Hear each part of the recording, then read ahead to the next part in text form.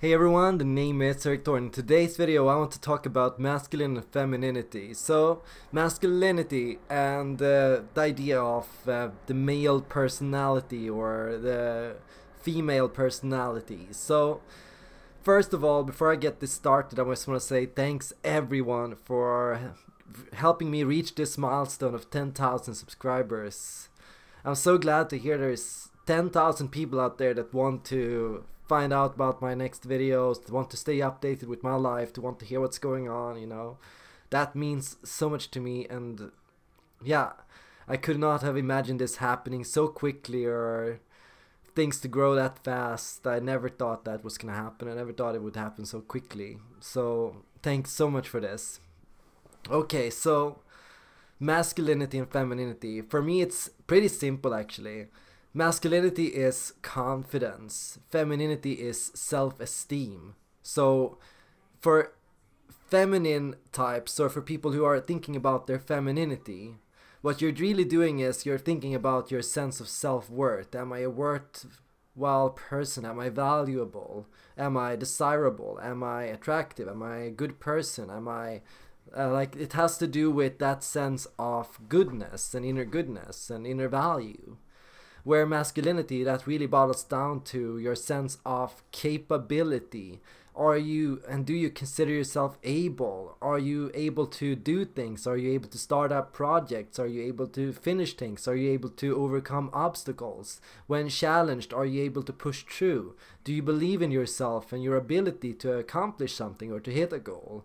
Or do you question yourself or give up easily or struggle with uh, lower confidence? So here the thing is you can have a high confidence while lacking self-worth.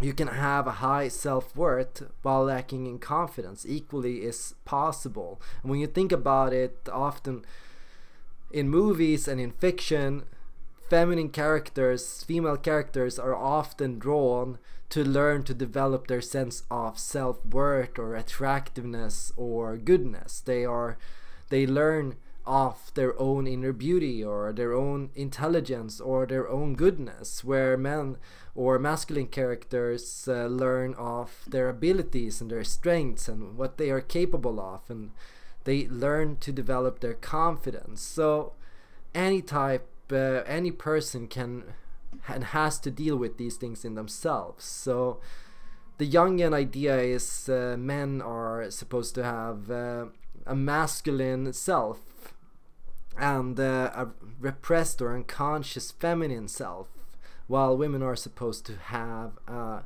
dominant or a strong pronounced feminine identity and a strong repressed masculine identity. I don't know if that's true.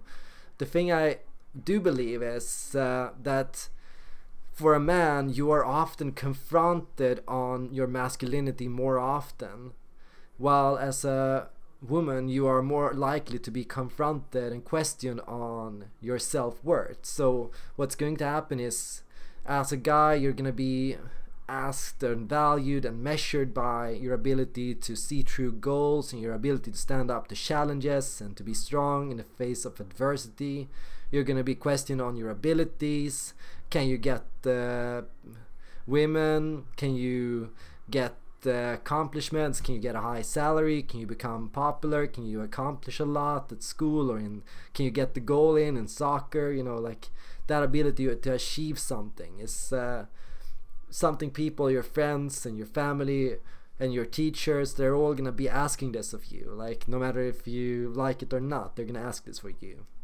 And uh, as a girl, it's always gonna be like uh, that question of uh, inner beauty and inner value when Jung talked about femininity and masculinity, he borrowed a lot on you know that metaphor of Tarzan and Jane. So what he was talking about was you know the primitive masculinity versus the primitive femininity. So his idea of the most primitive masculine ideal was that of uh, basically a Tarzan-like figure, a wild primitive person who uh, could barely talk or communicate, that could uh, like that was strong but uh, brutish in strength, and that uh, to some extent, you know, lacked the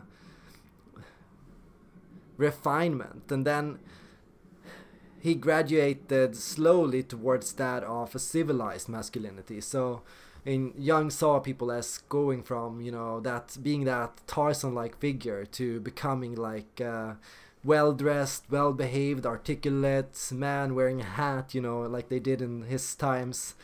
Uh, he saw people going that direction, and that was what he saw as civilized masculinity or developed uh, masculinity. Where for femininity, what he saw was uh, the most primitive idea of the feminine person was that of the damsel in distress or the helpless lady or this archetype of this person who had no abilities, no strengths, no power of their own.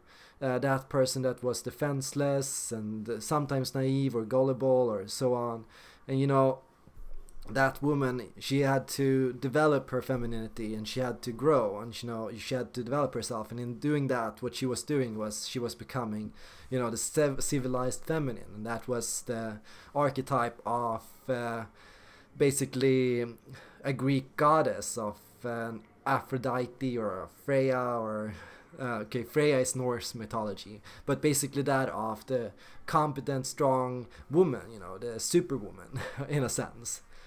So basically, saw us of dealing with and managing this within ourselves. So the idea you can also make from this is that men, by a curse, they are always confronted on questions of their confidence, they miss to work on their self-esteem. So you know what men think is, okay, if I just do a lot and I achieve a lot and I uh, complete a lot of projects and I set hard goals for myself and push myself, I'm gonna get a sense of self-worth and value. No, that's not usually what happens. What usually happens is, no matter how much you do, you start feeling like you're constantly just getting more and more insecure. You're starting to feel like nobody loves you, nobody cares about you, nobody listens to you, nobody wants to hear you out. So you start feeling more and more like your self worth is crippled. So your femininity, your inner feminine aspects, or your self worth, that becomes crippled. Where if you're constantly just developing your self worth, like your self respect, like um, your sense of who you are and your sense of what is good about you you can sometimes get stuck in a comfort zone in the sense of uh, not challenging yourself appropriately and hindering yourself from achieving goals. So there can be a fear of starting up projects, of setting challenges, of doing things, and there can be a tendency to dismiss that. Uh, when you have a strongly developed self-worth with no confidence, it will be that you believe in your value, but you fear and you don't believe in yourself and your ability. So you don't believe you can succeed. You don't believe you will be capable. You don't believe that you will like be able to achieve this project or get out of this situation. So in that there is um, tendency to become overly reliant on the help of others. So often what uh, guys need to work on or people with an overly developed masculinity or masculine identity is they have to learn to ask for help. They have to learn to let other people take the first initiative once in a while and they have to learn to work on their sense of self-worth. Like if you don't work on your sense of self-worth eventually it's gonna take over you and you're gonna have like these insecure lash outs uh, where you basically talk about why does nobody like me? Why does nobody care about me? Why do girls hate me? You know why, why am i always put in the friend zone you know? You get into the, these uh, crises of self-worth if you don't deal deal and work with your self-worth. And you know what you're doing? You're working on your self-respect. So you're working on that ability to appreciate yourself uh, for your own sake and for your own worth. And it has to do with working on yourself and working on uh, your body working on your mind working on your harmony your emotional state. There has been like an idea like uh, when you study gender sciences uh, i studied the course in gender sciences in uppsala university uh, that uh, often men are accused of uh, making women their source of emotional healing.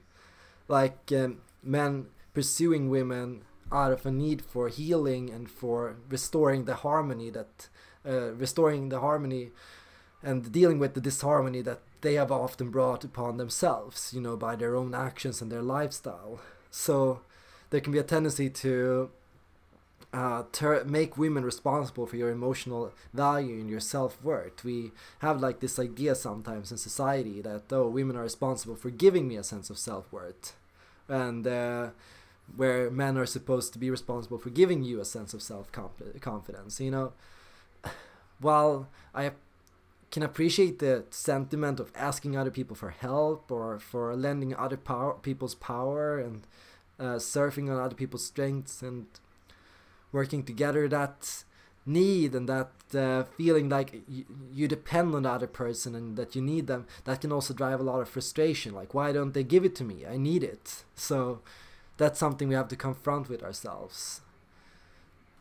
So when it comes to the myers-briggs type indicator and when it comes to masculinity and femininity there's a lot of associations you know like, i think uh, the masculine ideal is the extroverted sensing thinking and judging type. That's the ideal man you know that's the archetypal masculine almost. Uh, there's this connotation towards extroversion as something masculine because it's out there. It's go it goes and gets things. It takes things by the horns you know. It lives in the real world.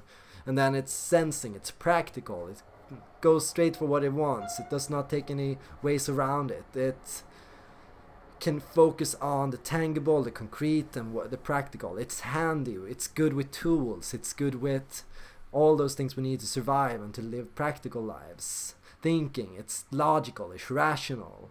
Judging. It's goal oriented. It's organized. It's disciplined. So all those things tend to drive us to think of ESTJs as the most masculine of all and INFPs as the most feminine of all. And that's also why there's like in society perhaps uh, a tendency to bash the INFP and their sensitivities and uh, their tendency to live outside of the real world in a twilight zone to go and to feel a need to know coach INFP men towards being more masculine and towards reclaiming their ESTJ self, you know, and the masculine identity. Like there is this idea, and it's extremely harmful.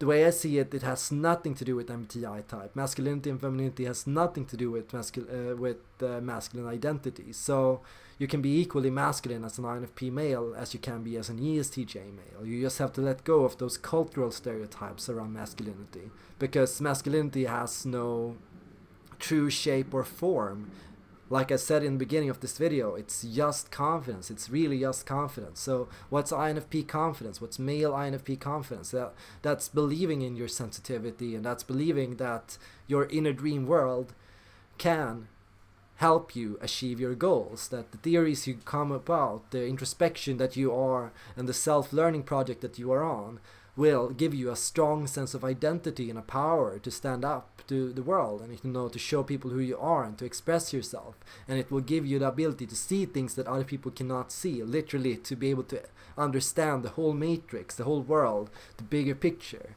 so as an INFP you can be if you are confident very strong in your own masculine identity. And a lot of INFPs I met have very strong masculine identities in the sense that yeah they don't feel blocked they don't feel hindered they don't feel stuck. Equally you'll come across ESTJ women and uh, ESTJs with a strong sense of femininity and worth. So that just uh, means knowing who you are and knowing your power and knowing your strength. It means uh, being able to, you know, live in the moment, to take every experience as it comes, to feel good about where you are and about your environment and about your situation, and to create a good environment around you and to come onto a place of comfort. So what the, what can happen, of course, in all of this is yeah, there is a tendency to mistype the masculine or masculine people as being more extroverted than they are, more sensing than they are, more thinking than they are. Just as there is a tendency to mistype uh, women as feelers, and I think the MBTI is very much subject to this error. They make a lot of statistics, and a lot of these statistics are bull because they mistype feelers uh, women as feelers, when in fact many of these women are just thinkers that have developed feeling or culturally feeling strategies. So what we need to do is of course yeah challenge our ideas of masculine and feminine and also where they belong and also how we should respond to these things within ourselves challenge the cultural stereotypes revolving around masculinity and femininity and also think about what it means to ourselves because you know there's uh, those that study gender sciences they recognize that there are extremely nuanced norms regarding masculinity and femininity. There are literally thousands of masculine identities that are completely different from one another and there are literally thousands of feminine identities that are literally different from one another. So really when you're getting down to it in a nutshell femininity and uh, if you're working on your self-worth and if you're learning to accept yourself just the way you are and if you're looking to feel beautiful and feel good and feel intelligent and feel like a good person then you're working on your femininity. And if you're working on becoming better at starting up projects, at completing goals, overcoming obstacles, then you're working on your masculinity. That's as simple as it is. Feel free to tell me in the comments down below what you're currently dealing with and what you're currently working on and how you feel about your own femininity or masculinity. Tell me about the stereotypes and how they hit against your type. What is it like to be, for example, an INTP lady? What is it like to be, for example, an INFP man? Share it in the comments down below. Thanks everyone for joining up in today's video and I hope to see you all in my next video.